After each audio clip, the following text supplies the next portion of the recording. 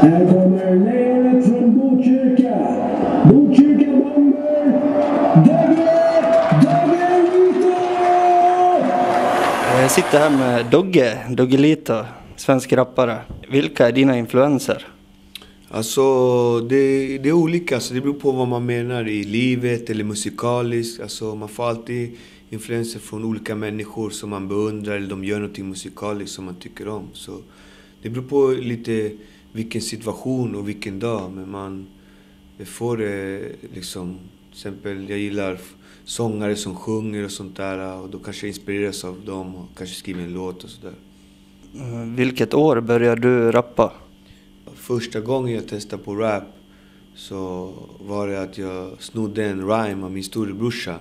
Och han skrev på engelska. Jag kunde inte rapsa, men jag visste att de rapphöstar. Det var någonting såhär, woke up this morning feeling okay. I had some fucking thoughts running around in my brain. You see my homeboy chilling and illing from coast to coast. Någonting sådär, så jag var så dålig på engelska. Det var därför jag började rappa sen på svenska, men det var nog en av de första gångerna jag rappade. Så det var väl 1983 liksom. Man blev som frälst typ. Man, alltså, jag gillar sport och sådär men när rappen kom då ville man hålla på med rap typ. Det var, det var roligt.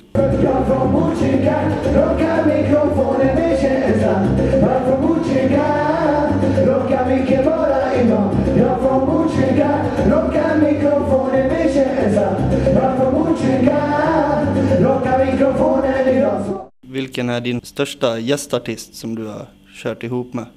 Det beror på om man menar i Sverige eller internationellt men jag vet inte. Det är så här små stunder som har varit kul när man en gång fick jag rappa med Carlos Santana i Globen. Det var ganska roligt att rappa med honom. Och sen i Sverige har man också haft fina minnen. Man har fått sjunga med Carola, med Håkan Hellström och olika stora svenska artister. Det har också varit kul sådär faktiskt. Man får vara glad man får vara med och kicka ut den. Arranca mami, arranca El vivo arranca mami,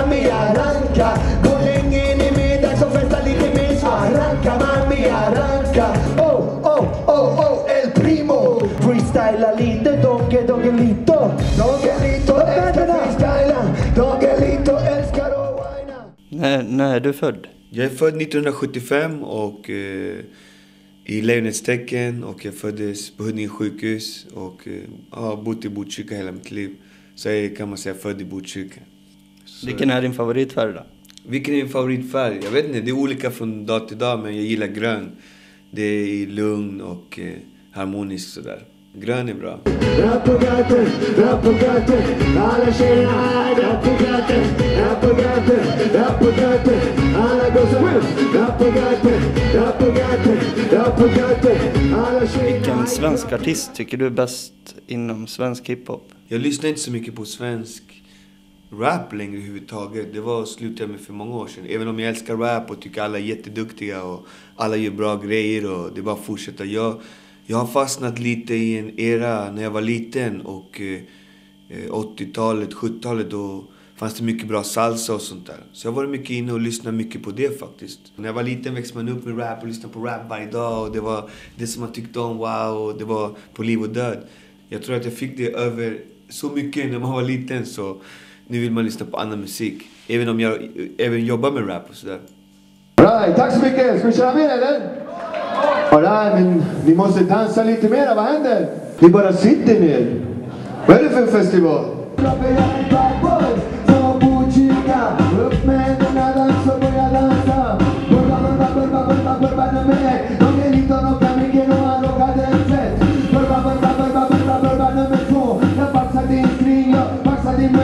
Hur kom du på smeknamnet? När jag började rappa så hade alla rappare så här häftiga namn typ. Jag visste inte vad jag skulle heta men alltså mitt namn är Douglas som är född och det står i passet så när jag var liten så blev Douglas Dogge direkt på dagis eller på skolan eller skolgården.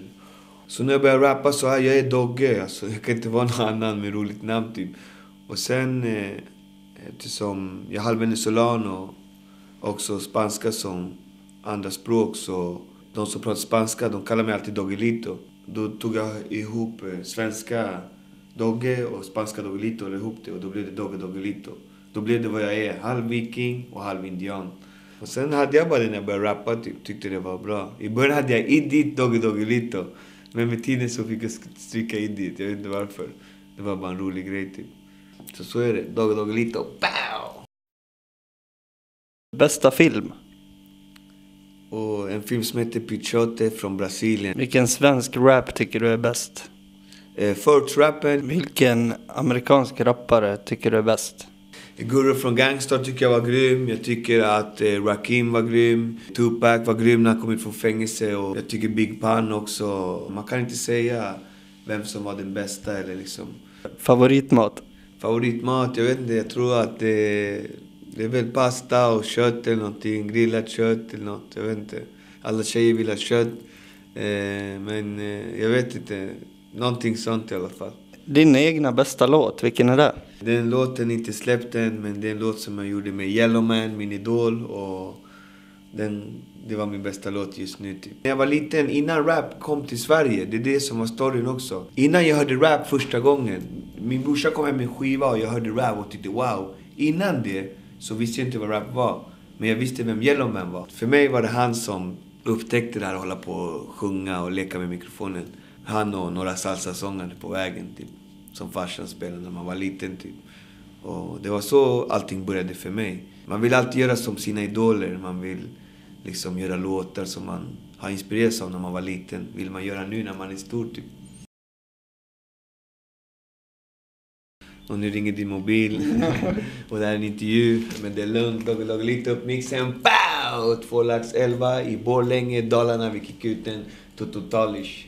Alright, nu ringer telefon igen. Yeah, det är business på gång. Det rullar. Telefon hit och dit överallt. Yeah,